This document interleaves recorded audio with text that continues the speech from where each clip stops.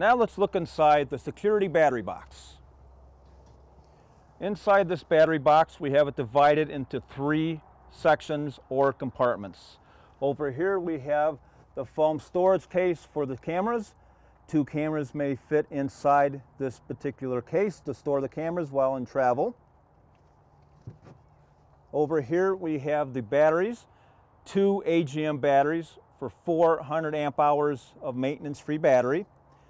And over here we have the electronics. Electronics consists of the main power switch for batteries and solar, a camera power switch, a solar charge controller slash LVD for turning the uh, system on and off. And underneath here is the battery charger for charging the batteries if you need to if the solar is not keeping up. Let's turn on the system now. We have a main power switch here for the batteries and the solar panels. We turn that on. We have batteries and solar panels now working. We have a camera switch off, on, so we're turning our cameras on. Now we're booting up our Morningstar solar charge controller.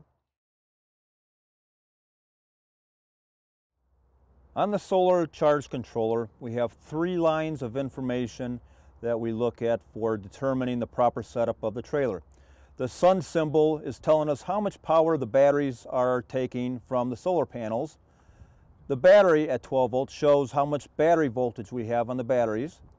And the load symbol is our cameras, and that's how much power the cameras are drawing. So on the sun we have 2.5, batteries 12.88, and the load we have 1.8. And this is all the information you really need to position your trailer properly.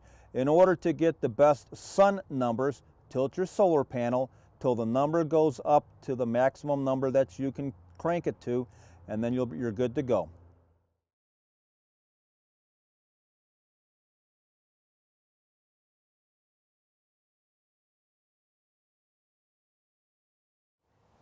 Here we have the Mini Dome camera just taken out of its travel case and this little camera has a pan tilt zoom uh, camera to it.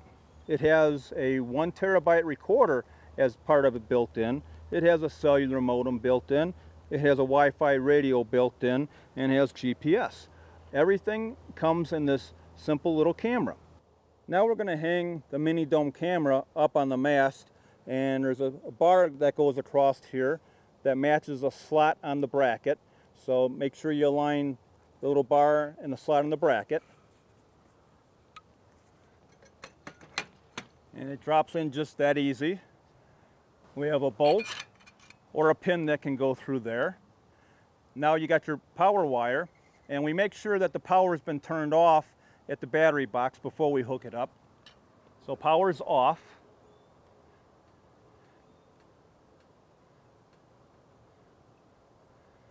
And there we go. We have the mini dome camera installed on the mast. Now that we have the tower telescoped up in the air, we highly recommend you take a simple staple padlock like we got here and add it to the swivel base and the tower. To do that, rotate the tower slightly to get the padlock in. Put the tower back. You'll take your travel pin, put it through the hole and the staple of the padlock. Just like that. Lock her up and now you've secured the pin and the tower and the swivel base so you can't rotate the tower. And if you try to lower the tower, the tower comes down on top of the travel pin, preventing anybody from tampering with your camera. A nice, simple way to add security to your trailer. As an option to the Mini Dome camera trailer, we have a pivoting drawbar to get the drawbar out of the way without having to remove it for uh, trip hazards or storage facilities or forklift operations. In order to pivot the drawbar, we're going to pull the pin here. We pivot up the drawbar. Use the same pin.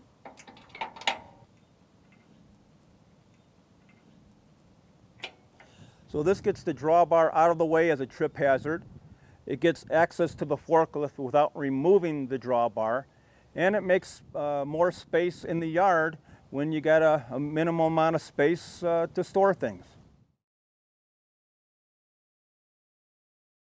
Now that we've deployed the Mini Dome camera, we're going to have to load that camera into your desktop computer. Inside the camera case, each camera has this piece of paper that is showing the IPs of the camera. You want to have this paper with you when you're setting up your system on your desktop. Now that we have our IP number ready, and we're going to add the camera into our software, we're going to hit connect. After connect, the pop-up box shows up and we're going to hit add to add a new camera and we're going to add a new transmitter. That's what we need to do first is add new transmitter. Now the index is asking us for the transmitter name or which would be the trailer name. For this video we're just going to call it Wanco Video Unit. Okay, we're going to put our IP number in that is from the 4G IP address on the paper.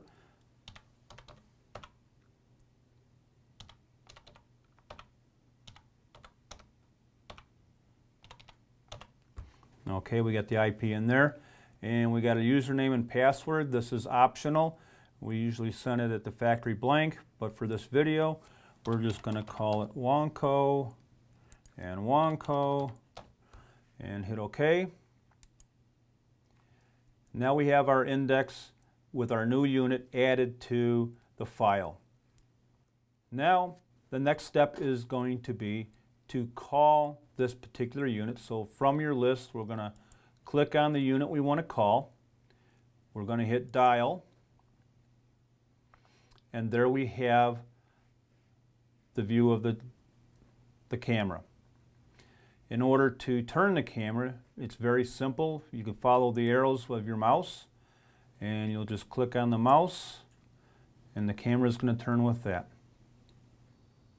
So after you've positioned your camera by using the arrows to turn the camera left, right, up, down, you can use your roller ball on the mouse to roller in to see the zoom and roll back out for wide view.